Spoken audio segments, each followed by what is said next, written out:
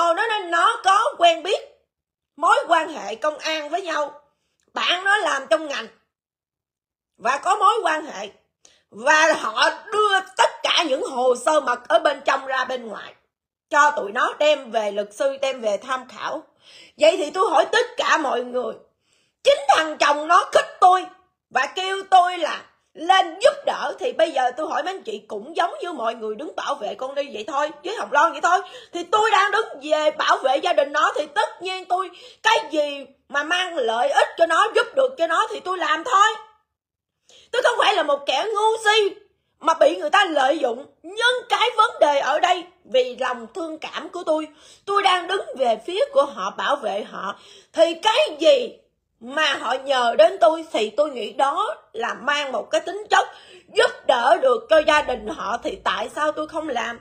Tôi đứng lên trên mạng xã hội, tôi đứng trên này cũng vì mục đích là tôi muốn bảo vệ gia đình họ thôi. Thì nếu họ bảo ừ chị giúp em cái đó, nó sẽ đem lại cái lợi ích cho tụi em, thì tất nhiên tôi phải đứng ra tôi giúp. Tôi phải làm thôi, cái chuyện đó là đương nhiên. Cái đó là đương nhiên, mọi người nhưng bây giờ quay ngược lại lũ chúng nó cái đám nô tặc đó tặc nô đó nha là nó nói á, là đó tôi á muốn chửi ai là chửi à, thích chửi ai là chửi à, chửi bậy chửi tục rồi à, nói chuyện đụng ai cũng chửi. Vậy thì tao hỏi mày những cái mà tao chửi tao khích đó nha thì do ai nhờ tao? Có phải là thằng Long Hồ không? Có phải thằng Long Hồ nhờ tao qua quấy rối cộng đồng đó kích động bên con Hồng Loan không? Hả? Để cho tất cả mọi người rơi vào 331 Rơi vào 331 với cái tội quấy rối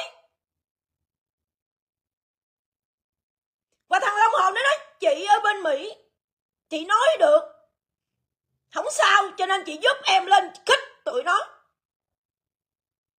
để cho họ dướng vào 331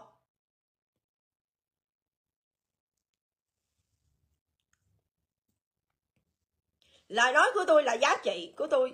Còn ai tin không tin thôi. Tại sao phải bắt tôi phải đưa ghi âm? Khi nào tôi thích đưa thì tôi đưa. Cô ni nó cũng đâu có cần mấy cái này đâu. Cô ni nó cũng đâu có cần mấy này đâu. Và cái chuyện đưa hay không không có ai có quyền ép tôi. Nhưng cái gì tôi nói đây là đó, nha, bằng chứng nha. Còn những gì tôi nói á, tin không tin thì thôi. Nếu những người mà đi ghét bên con hồng phượng thì biết được những gì tôi nói có hay là không liền. Đó, tôi đang muốn chờ mẹ con của nó lên trả lời nói không có đi. Tôi muốn từ cái miệng vợ chồng nó, mẹ con nó chỉ cần lên mạng nói một từ không có đi. Mẹ con nó lên nói không có cái giùm tôi cái đi tôi đang chờ đó tôi đang chờ mẹ con nói đó. À, miệng chó đang chờ mọc ngà voi đó. Tôi đang chờ mẹ con nó lên mạng xã hội nói không có giùm tao một cái đi. Mà mày không á lên trả lời mày không đính chính. Mày im lặng có nghĩa là mày chấp nhận những gì tao nói. Có nghĩa là những gì tao nói mày không lên đính chính để phạt bảo vệ danh dự cho mày phản biện lại tao. Có nghĩa là mày đang im lặng có nghĩa là mày đang chấp nhận những gì tao nói. Còn thậm chí cái câu nó còn nói một câu sao? Dù cho đi tù nó cũng không sợ mà. Bây giờ dù cho cứ đi tù cũng được. Vậy thì tôi hỏi tất cả cộng đồng mạng, cái câu mà nó nói dù cho đi tù cũng được, vậy thì nó sai hay nó đúng? Nó biết nó sai và nó biết nó đã làm cái gì. Cho nên nó biết có thể nha, nó sẽ dính vào tù tội luôn vậy thì khi một con người mà làm đúng đó, thì không bao giờ mở miệng ra nói một cái câu đó là tôi đi tù cũng được. Chỉ nó đã chấp nhận nó đã làm sai rồi, có nghĩa là nó tự nhận rồi đó. Nó tự nhận là nó làm những cái chuyện với con hồng loan là sai đó. Nó nói một cái câu với ông thành vậy ta, là đi tù cũng được. Vậy thì nó đang chấp nhận những gì nó đang làm với hồng loan là sai và mẹ con nó với bà lành đưa thông tin cho tôi cũng là sai. Đúng không? Tại vì cái câu trả lời đó là nó trong một cái câu chuyện giữa tôi và nó, ông thành phiên. Thì nó bảo là đi tù cũng được. Vậy có nghĩa là những cái thông tin nó đưa cho tôi là nó chỉ lợi dụng vào cái miệng tôi và mượn.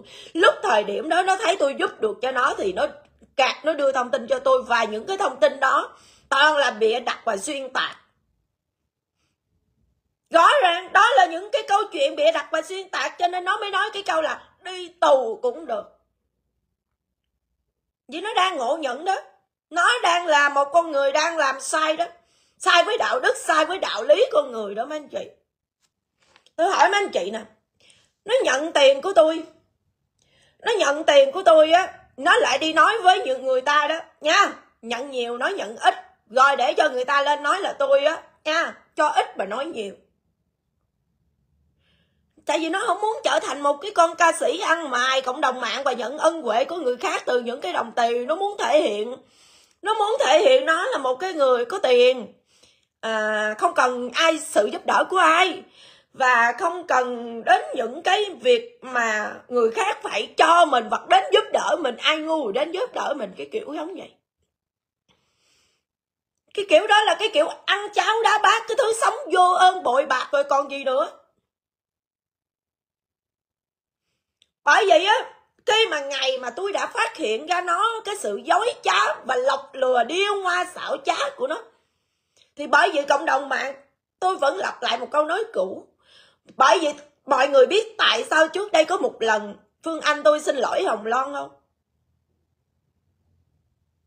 Trước đây tôi đã từng lên xin lỗi hồng loan, mọi người đặt một cái câu chấm hỏi tại sao tôi xin lỗi hồng loan, rồi qua ngày mai, vài ngày sau tôi lại tiếp tục chửi hồng loan vì tôi biết sẽ có một ngày nào đó tôi sẽ không thể đứng vững ở cái vị trí mà để bảo vệ mẹ con nó được.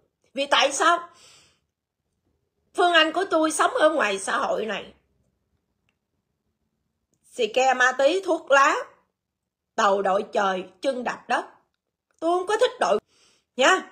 Cho nên nó đứng về phía của tụi nó thì đầu tôi sẽ đội, mà đứng về hướng tụi nó thì chân tôi sẽ bị đạp vào cho nên tôi biết một ngày nào đó, những cái nó thúi quá, thì tôi sẽ không thể nào chịu đựng nổi được, thì tôi sẽ với cái nết của tôi, cái nư của tôi, thì nó với cái sự ngang tàn của tôi, thì tôi sẽ không bao giờ chấp nhận để cho nó có thể tồn tại hoài với tôi được. Thì tôi biết một ngày nào đó, tôi sẽ lên bóc phốt nó, và một ngày nào đó với sự chịu đựng của tôi thì tôi sẽ không thể đứng vững ở cái cương vị là người bảo vệ cho nó. Cho nên tôi biết, cho nên tôi xin lỗi hồng loan trước ở cái thời điểm đó. Vì tôi đã nhận ra rồi đó. Thời điểm đó là tôi đã nhận ra cái bộ mặt thật của nó và mẹ con nó và vợ chồng nó rồi đó, mấy anh chị. Và cả luôn một cái nhóm cẩu nô tài tặc nô của tụi nó rồi. Cho nên lúc đó tôi mới xin lỗi nhưng bởi vì nhiều người năn nỉ tôi, trong đó có cái có cao su bố chỉ năn nỉ tôi. Rồi đi qua nhờ thằng em. Nó năn nỉ tôi luôn. Nhưng thằng em này tôi rất là quý em ấy. Là thằng em là quân lực. Thằng em này tôi rất là quý em ấy. Và chính con cao su bố chỉ đi nhờ em ấy năn nỉ tôi. Cho nên với nhiều người, họ tử tế quá họ, có, cái sự tử tế của họ, khi họ vào messenger họ nhắn tin cho tôi thì lúc đó tôi chịu không được. Cho nên tôi tiếp tục đứng lên bảo vệ nó. Và tôi cứ nghĩ là nói đúng hay nói sai, bà sáu đúng hay sai không có quan trọng, mà quan trọng là cái di nguyện của chú vũ linh, là cái người mà mình thần tượng, mình yêu quý. Cho nên tôi cứ nghĩ cho chú vũ linh hoài, cho nên là tôi mới tiếp tục. Nhưng mà mọi người cứ tin vào tâm linh không? Nếu ai mà theo dõi của theo dõi, dõi tôi lâu thì mọi người sẽ nhớ. Trước khi trước khi tôi bóc phốt con hồng phượng đó thì có một lần tôi nằm mơ cái giấc mơ cuối cùng là tôi đã thấy cái giấc mơ đầu tiên là tôi thấy một người phụ nữ ở trong nhà của họ. Và cái người này chính ông thành nói với tôi là người này người con gái này đã thích và chôn ở đằng sau cái bếp đó và thành quỷ hay phá chú vũ linh. Đó là lời ông thành nói. Và lần thứ hai tôi nhìn thấy cái người phụ nữ này cho tôi nhìn thấy mặt luôn.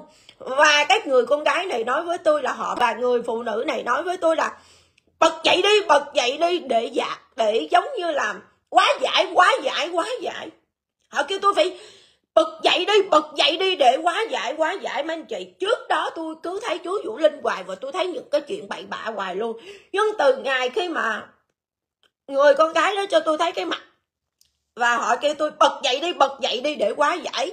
Thì sau cái giấc mơ đó đến bây giờ tôi không còn nhìn thấy bậy bạ và tôi không còn nhìn thấy chú Vũ Linh nữa anh chị và từ ngày đó bắt đầu cái giấc mơ đó là cái giấc mơ tôi bóc phốt Hồng Phượng luôn đó anh chị bắt đầu từ kể từ cái giấc mơ đó. Và từ ngày đó tới bây giờ là tôi tôi nói cho anh chị nghe là tôi bóc phốt Hồng Phượng liền. Và tôi nghĩ đây là tôi đang rơi vào cái cặm bẫy của mẹ con nó. Cho nên khi mà tôi thấy cái giấc mơ đó là giấc mơ cuối cùng mà để mà kêu tôi bật dậy đi và để quá giải là tôi nghĩ đó là cái tôi được quá giải thôi anh chị. Tôi được quá giải cái sự mà gọi là u mê đó. Đó anh chị, ngu ngục đó anh chị. Đó, tôi nói thật cho anh chị, tại sao có những người họ lên mạng họ không bao giờ dám nói về những cái sai của họ họ không bao giờ dám nói họ đã làm gì đâu.